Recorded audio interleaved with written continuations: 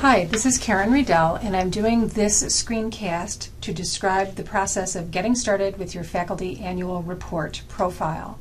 You can find your faculty annual report by logging into MyUMBC and then choosing the Faculty Center under Topics. And in the Personal Profile section, you'll see links to your faculty annual report. These directions are for the legacy faculty annual report, not the new digital measures one. So if we click on the faculty annual report link, we'll be taken directly to the personal profile screen, which is the first screen in the faculty annual report. Check to see that your name is correct over here um, and spelled correctly. If it is incorrect or not completed, you can just put the cursor in the boxes and type or edit.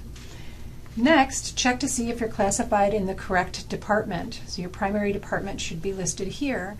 If that's incorrect, click on the drop-down menu and choose the correct department.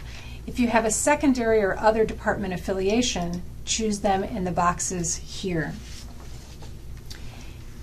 In the section in the center of the screen, you need to check only the sections of the FAR that apply to you. You'll select the appropriate sections by clicking in the empty box next to a particular section. If something is selected for you that you don't need, then you can remove it from your um, choices. So just selecting or unselecting these check marks will uh, choose the sections that you need. By checking a section, you're telling the faculty annual report to track that section up here in the to be completed um, section or over here once it's done and you've marked it completed as those sections that are actually complete. If you're not sure whether a section applies to you, you can um, click on the section and a box will pop up, a pop-up window that gives a brief description of what that section is so you can find a little bit of information from it. Some sections have an asterisk next to them, and those sections just indicate that they are multiple entry sections in the FAR. Once you're done selecting the sections that apply to you, click the Apply Changes button, and you'll get a JavaScript uh, pop-up window, um, and you need to click OK, and that will apply those changes to your profile.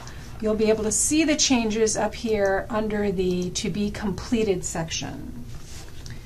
If you decide that you don't like what you selected and you want to restore the sections that were selected before, you can come back to the center section, hit the reset button, and it will select only those items that were originally selected. You will need to choose Apply Changes again and click OK for those to then be um, saved in your completed section.